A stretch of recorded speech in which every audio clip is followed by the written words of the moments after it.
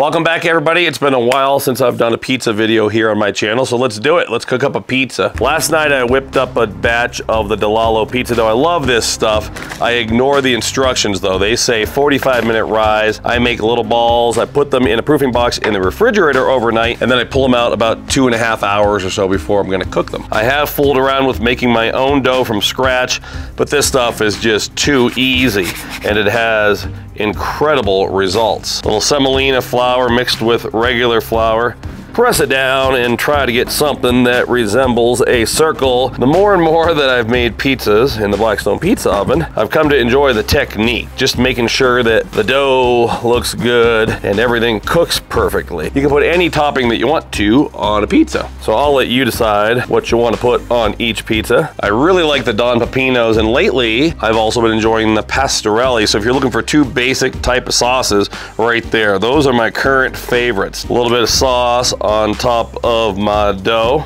And I'm loving the Galbani cheese. I believe it's called stretch and pull or pull and stretch, something like that. And I like it way better than fresh mozzarella because there's no moisture. You don't need to worry about a bunch of water dripping off your pizza. It melts really well. It gives an absolutely incredible stretch. And we grab some onions. I like onion on pizza once in a while. Every time I do it a little bit different. Sometimes this would be peppers jalapenos today. We're going down with onion and some type of pizza seasoning, which would typically include thyme, basil, oregano, sometimes garlic powder, red pepper, etc. I have the Walmart edition of the Blackstone Pizza Oven heated up 638, 650 degrees. I like to keep it between six and 700 degrees. Lift and shimmy it onto my peel and straight in to the pizza oven.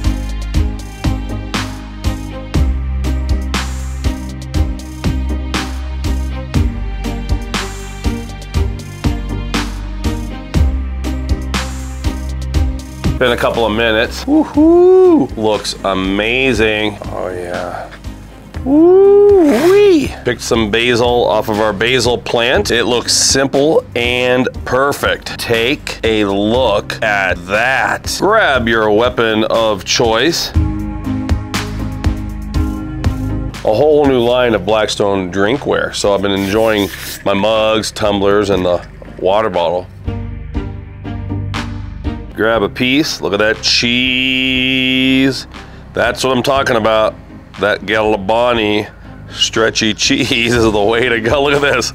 Oh yeah, Galabani. Crust looks incredible. Good color on the bottom as well. Let's give it a try.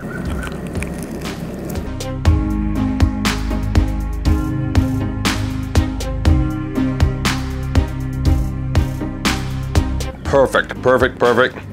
We had some Domino's pizzas a few weeks ago. We were traveling. Hey, at the spot, we needed food, but there's nothing like a homemade pizza. This has incredible flavor, everything about it. The sauce that I want, the cheese that I want, it's the dough that I want. And of course, like I said, you can top it any way you want to.